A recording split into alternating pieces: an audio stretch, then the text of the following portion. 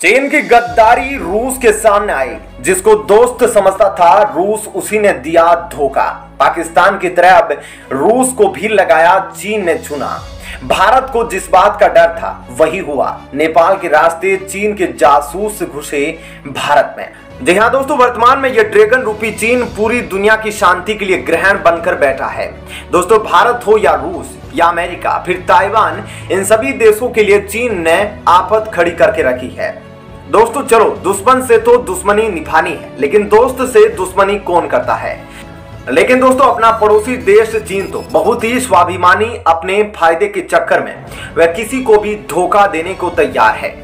दोस्तों, हाल ही में खबर निकलकर सामने आई है, जहाँ पर रूस के साथ, चीन जिसने रूस के साथ एक अनलिमिटेड पार्टनरशिप करी थी जिसके तहत रूस और चीन ने यह कसम खाई थी कि उनकी पार्टनरशिप की कोई सीमा नहीं। लेकिन दोस्तों, अपनी इसी पार्टनरशिप में अपने ही दोस्त रूस को धोखा देते हुए चीन अब खुद रूस से ही दगाबाजी करने लगा है। जी हाँ दोस्तों, यूक्रेन के साथ युद्ध में उलझा रूस। फ़िलहाल कई परेशानियों का सामना कर रहा है।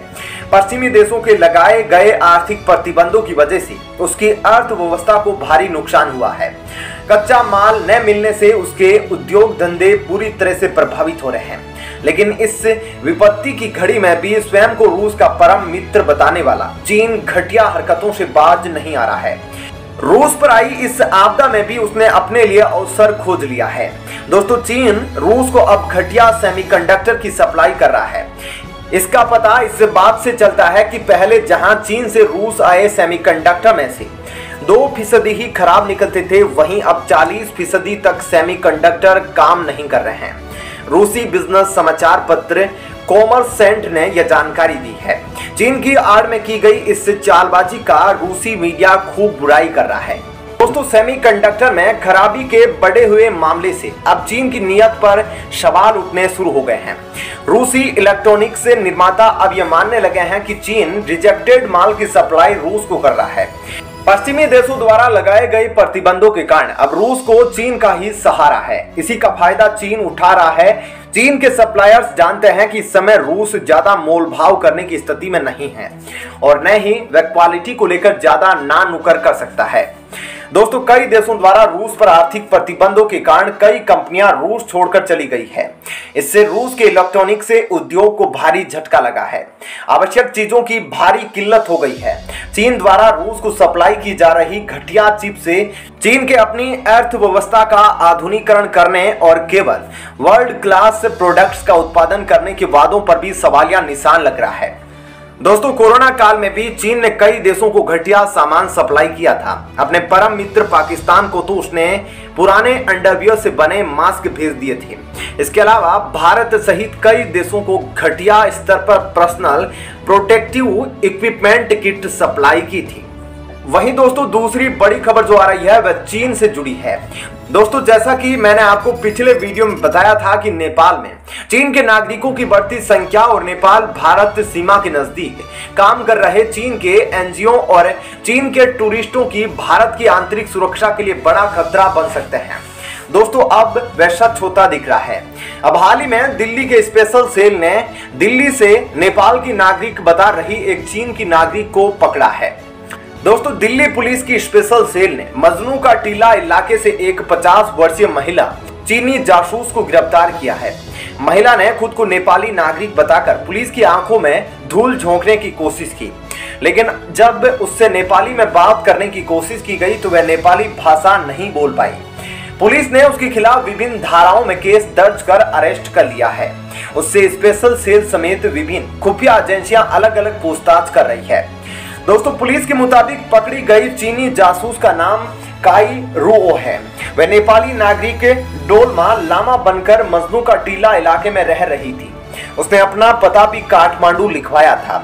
अरेस्टिंग के बाद जब स्पेशल सेल ने एफ़ आर आर ओ से उसकी जाँच करवाई तो उसके असली नाम का खुलासा हुआ। असल में वह वर्ष 2019 में चाइनीज़ पासपोर्ट पर भारत आई थी, जिसके चलते उसकी डिटेल एजेंसी के पास दर्ज हो गई थी।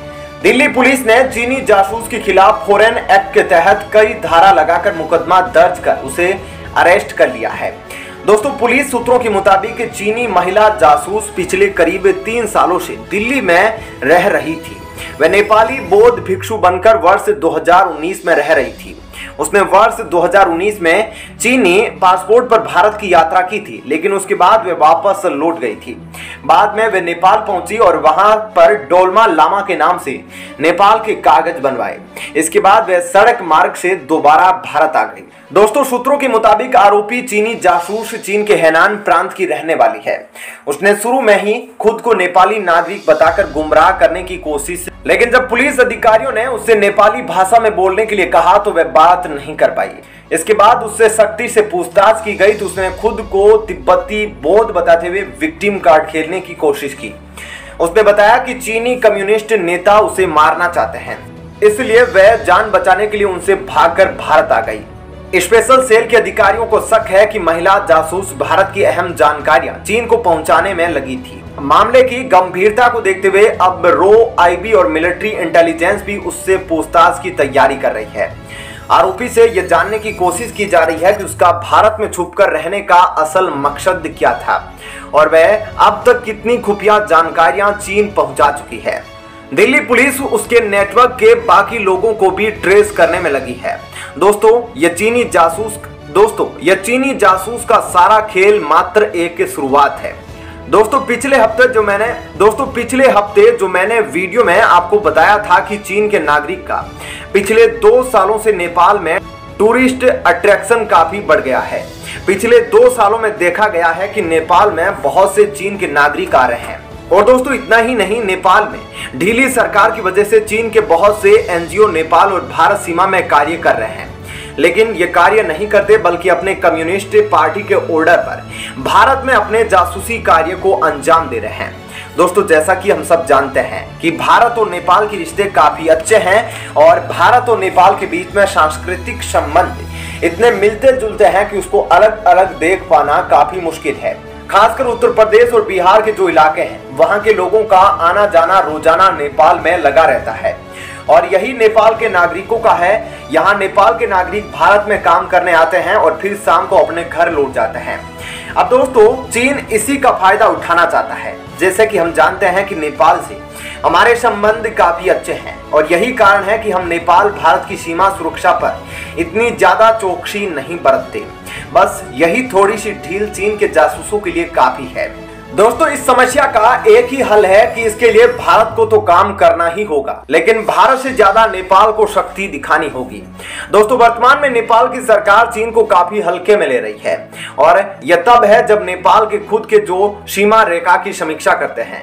उन्होंने बताया कि चीन नेपाल के लगभग पाँच से छह गाँव पर कब्जा कर चुका है, जिनकी सीमा चीन से लगती है, और यह सारे गाँव उत्तरी नेपाल के हैं।